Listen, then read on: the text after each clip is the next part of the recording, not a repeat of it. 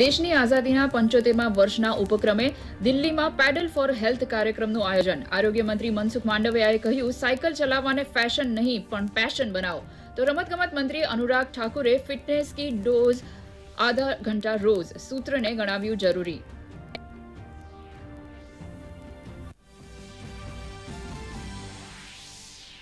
પ્રધાનમંત્રી નરેન્દ્ર મોદીએ નવી વાહન સ્ક્રેપ નીતિને ગણાવી ભારતની વિકાસ યાત્રામાં મહત્વપૂર્ણ પાયાનો પથ્થર. જૂની ગાડીને સ્ક્રેપ કરવા પર નવી ગાડીની રજીસ્ટ્રેશન ફીમાંથી મળશે મુક્તિ. પ્રધાનમંત્રીએ કહ્યું, આ નીતિ દસ હજાર કરોડ રૂપિયાથી વધારેનું નવું રોકાણ લાવશે અને હજારો નોકરીઓ થશે ઉત્પન્ન.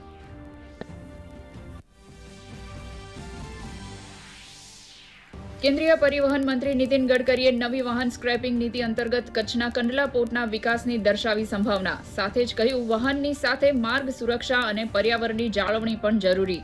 તો મુખ્યમંત્રી વિજય રૂપાણીએ કેન્દ્ર સરકારનો માન્યો આભાર. કહ્યું, સરકારની જનકલ્યાણકારી નીતિઓને મળ્યું ભરપૂર જનસમર્થન.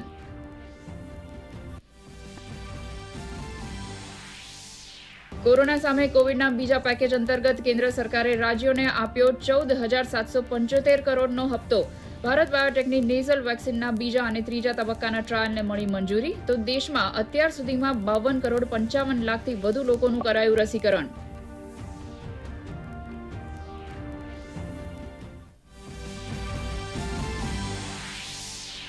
દેશમાં ફરી એકવાર કોરોનાના કેસમાં નોંધાયો આંશિક ઘટાડો. છેલ્લા ચોવીસ કલાકમાં નોંધાયા કોરોનાના નવા આડત્રીસ હજારથી વધુ કેસ, જ્યારે એકલા કેરળમાં જ વીસ હજાર કેસ.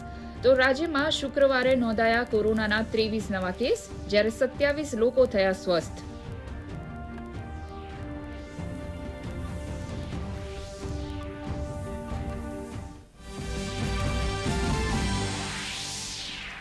મુખ્યમંત્રી વિજય રૂપાણી આજે વલસાડ જિલ્લાના ઉમરગામ તાલુકામાં વિવિધ વિકાસ કાર્યોનું કરશે લોકાર્પણ. સાંસ્કૃતિક વન સહિત નર્સિંગ કોલેજ અને કોમ્પ્યુટર લેબનું કરશે ઉદ્ઘાટન. પ્રકૃતિ પ્રેમી અને પર્યટકોને આકર્ષવાનું કેન્દ્ર બનશે વલસાડ જિલ્લો.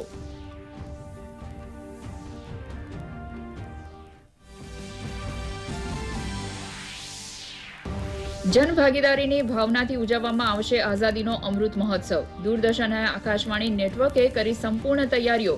સ્વતંત્રતા દિવસના અવસરે આખો દિવસ થશે વિશેષ કવરેજ સોળ ઓગસ્ટથી આકાશવાણી પર આઝાદીની સફર આકાશવાણી પર થશે પ્રસારિત.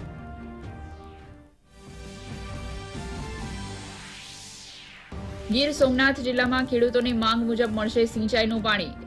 ઉના, ગીર ગઠડા અને કોડીનાર પંથકમાં કેનાલ મારફતે કરાવાશે સિંચાઈનું પાણી ઉપલબ્ધ. મુખ્યમંત્રી વિજય રૂપાણીએ આગામી ત્રીસ સપ્ટેમ્બર સુધીમાં રાજ્યના તમામ ડેમ અને જળાશયોમાં પીવાનું પાણી અનામત રાખીને બાકીનું પાણી સિંચાઈ માટે છોડવા આપી છે સૂચના.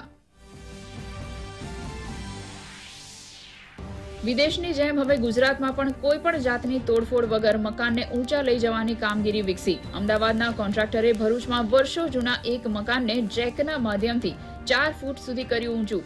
મકાનને ખાલી કરવાની પણ કોઈ પડોજન નહીં.